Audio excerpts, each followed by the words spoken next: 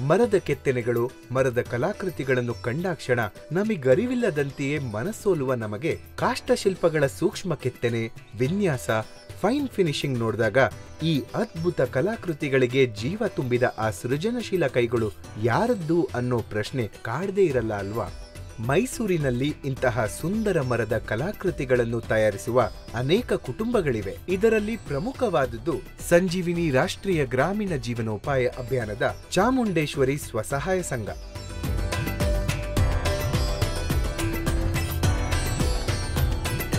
ಇವರು ತಯಾರಿಸುವ ಮರದ ಕರಕುಶಲ ವಸ್ತುಗಳು, ಪ್ರಾಚೀನ ಕೆತ್ತನೆಗಳು, ಕೆತ್ತನೆ with inlay cutting work, three D type paintings, ಬೇರೆ ಬೇರೆ ತರಹದ ಕಾನ್ಸೆಪ್ಟ್ಗಳನ್ನು ತ್ರೀ ಡಿ ಪೇಂಟಿಂಗ್ಗಳಲ್ಲಿ ತಯಾರಿಸುವ ಇವರ ಸೃಜನಶೀಲತೆ ಬೆರಗು ಮೂಡಿಸುತ್ತೆ.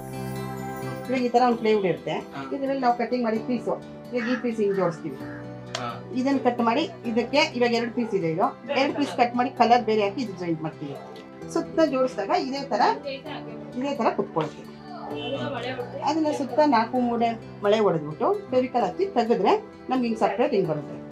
ಆಮೇಲೆ ಅದಿಷ್ಟನ್ನ ಈ ತರ ಆಮೇಲೆ ರೆಡಿ ಮಾಡೋದು ಇವರು ಮೊದಲಿಗೆ ಸಂಜೀವಿನಿ ರಾಷ್ಟ್ರೀಯ ಗ್ರಾಮೀಣ ಜೀವನೋಪಾಯ ಅಭಿಯಾನದ ಸಂಜೀವಿನಿ ಒಕ್ಕೂಟದ ಸಮುದಾಯ ಬಂಡವಾಳ ನಿಧಿ, ಸಿಐಎಫ್ನಿಂದ ಕಡಿಮೆ ಬಡ್ಡಿ ದರದಲ್ಲಿ ಎರಡೂವರೆ ಲಕ್ಷ ರೂಪಾಯಿಯ ಲೋನ್, ನಂತರ ಒಂದೂವರೆ ಲಕ್ಷ ರೂಪಾಯಿಯ ಲೋನ್ ಪಡೆದುಕೊಂಡು ಬಿಸ್ನೆಸ್ಗೆ ವಿನಿಯೋಗಿಸಿದ್ದಾರೆ. ಪ್ರಸ್ತುತ ತಿಂಗಳಿಗೆ ಐವತ್ತರಿಂದ ಅರವತ್ತು ಪೀಸ್ಗಳ ಆರ್ಡರ್ ಬರ್ತಿದ್ದು, ಇವರ ಮಾಸಿಕ ಆದಾಯ ಇಪ್ಪತ್ತು ಸಾವಿರ ರೂಪಾಯಿಗಳಾಗಿವೆ. ಇಷ್ಟು ಸುಂದರವಾದ ಮರದ ಕಲಾಕೃತಿಗಳನ್ನು ತಯಾರಿಸಲು ನೈಪುಣ್ಯತೆ ಬಂದಿದ್ದು, ಸಂಜೀವಿನಿ ರಾಷ್ಟ್ರೀಯ ಗ್ರಾಮೀಣ ಜೀವನೋಪಾಯ ಅಭಿಯಾನದ ಸಹಾಯದಿಂದ ಕಾವೇರಿ ಎಂಪೋರಿಯಂನಲ್ಲಿ ತರಬೇತಿ ಪಡೆದಾಗ, ಇವರ ಕಲೆ ಹಾಗೂ ಪ್ರತಿಭೆಗೆ ಸಂಜೀವಿನಿ ರಾಷ್ಟ್ರೀಯ ಗ್ರಾಮೀಣ ಜೀವನೋಪಾಯ ಅಭಿಯಾನ ಸದಾ ಬೆಂಗಾವಲಾಗಿ ನಿಂತಿದೆ.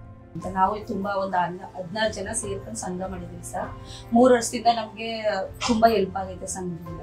ನಮ್ಮ ಸಂಘ ಗುರ್ತಿಸಿ ಅವರು ಒಟ್ಟು, ಒಕ್ಕೂಟಕ್ಕೆ ಸೇರ್ಸಿದ್ಮೇಲೆ ನಮ್ಗೆ ಈ ಥರ ಎಲ್ಲ ಸೆಲೆಕ್ಟ್ ಮಾಡಿ ಹೊರಗಡೆ ಕಳಿಸಿ ಎಕ್ಸಿಬಿಷನ್ಗೆಲ್ಲ ಕಳಿಸಿ ಎಲ್ಲ ಮಾಡಿದ್ಮೇಲೆ ಸರ್ ನಮ್ಗೆ ತುಂಬಾ ಹೆಲ್ಪ್ ಆಗಿದೆ ಸರ್. ನಾವು ನಾಲ್ಕು ಜನಕ್ಕೆ ಸಹಾಯ ಮಾಡಬೇಕು ಆ ತರ ಇದೆ ಸರ್. ಓದು ಬರಹ ಇಲ್ದಿದ್ರೂ ಪರವಾಗಿಲ್ಲ. ಉತ್ತಮ ಕೌಶಲ್ಯ, ಸರಿಯಾದ ಅವಕಾಶ ಸಿಕ್ಕಿದ್ರೆ ಅದ್ಭುತವನ್ನೇ ಸೃಷ್ಟಿಸಬಹುದು ಎಂಬುದಕ್ಕೆ ಈ ಮಾತೆಯರೇ ಸಾಕ್ಷಿ.